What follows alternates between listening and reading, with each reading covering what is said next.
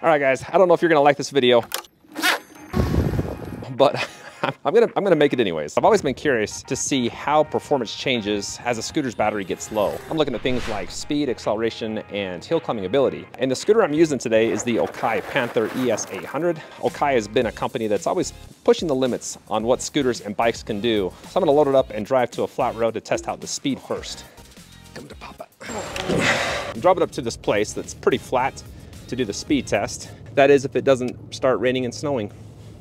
Now, Okai says that the Panther can get up to 38 miles per hour, so I'm hoping to hit that speed on this first test. Before I run the test, I wanna show you a couple things here. There's three ways to change the speed modes. So once you turn it on, this is a touch screen. So you pull that down and you can select either E, D, or boost by just moving your finger, tapping it. So E is walk mode.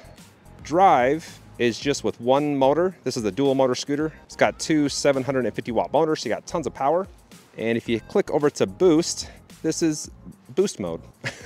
you got access to both motors, which is where I'm gonna leave it for this test. You can also change the speed modes here with this flicker. And then in the app, you can also change the speed modes.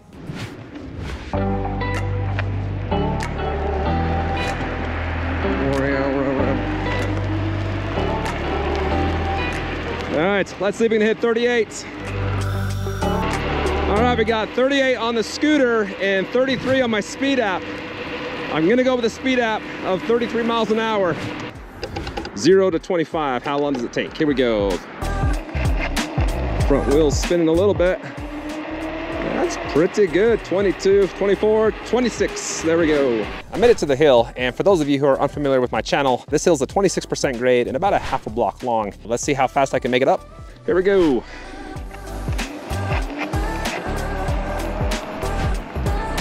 Oh, plenty of power. Yeah, this is the steepest part. 16 miles an hour over the top. And there we go. I'm now just gonna cruise around the neighborhood, drain the battery to 50% and run those three tests again.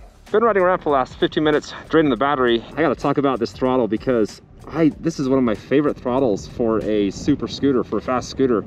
But it, it feels nice, it feels durable, it doesn't feel cheap and plasticky. It's natural feeling too. When I grab the grip, my pointer finger is just right there. So they've done a nice job on the placement and design of that throttle. Uh, battery's now at 50%. The same stretch I was before. Let's see how fast I can go now. Yeah, that's, uh, there's 33, 34. Okay, even better. I think when I did that test before, there was a headwind. Okay, uh, acceleration test.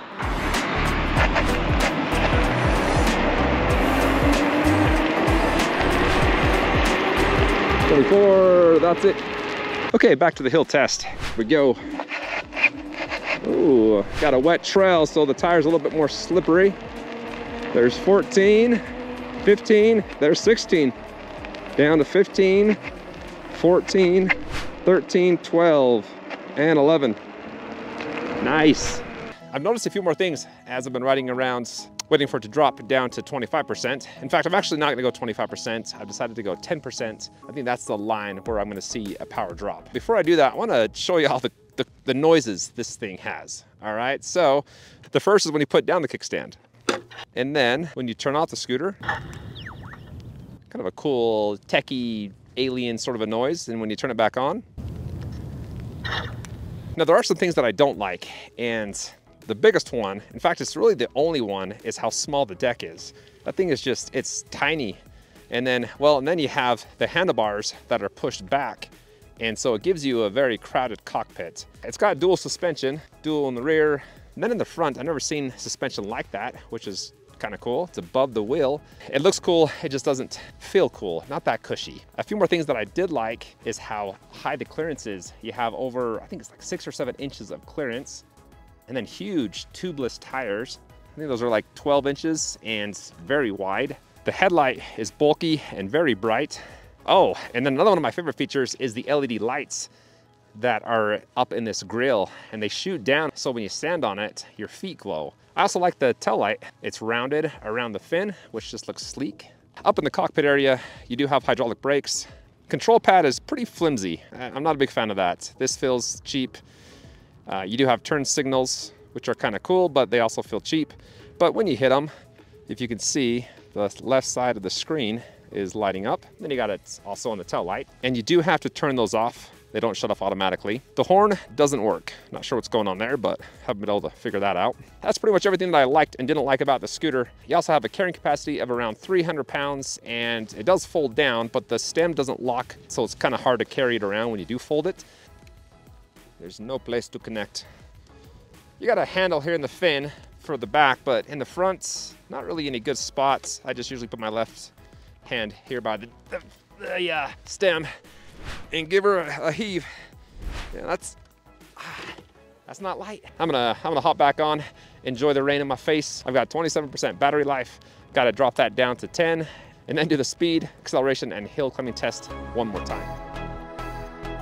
I forgot to mention that the brakes are equipped with regen capability as well. I was way up there, the battery life said 10%.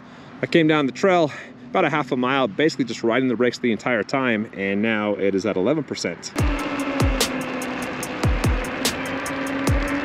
I'm having I had a brain fart. I forgot that my favorite feature about the scooter. well, there, there's two of them. The first is, and I mentioned this before, is the touchscreen, which is awesome. So you can do the gear selection, which I already showed you, screen brightness. Scroll up, you can change the interface style.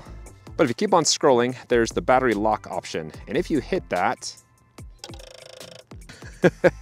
the deck pops open, which is awesome. And then you just, you can easily take the battery out. You just unplug it here. There's a handle, pop it out, and you can carry it. Okay, uh, speed test. Let's see if I can still hit 33 miles an hour. Here we go. I don't think it's gonna make it. There's 27. This is right here, it's usually, well, there's 28. This is usually where I go the fastest and yeah, 28 miles an hour. This is the last acceleration test. That is slower, I can tell. 21, three, five, there we go. Back to the hill. I'm curious to see if it's gonna make it up. Let's find out, here we go. Ooh, still got some spin on the tire. Okay, I think it's looking pretty good.